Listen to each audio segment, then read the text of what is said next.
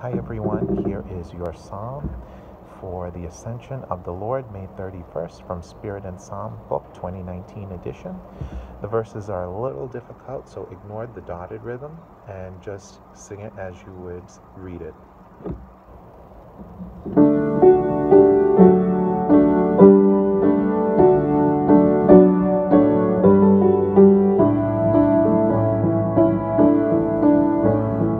On mountain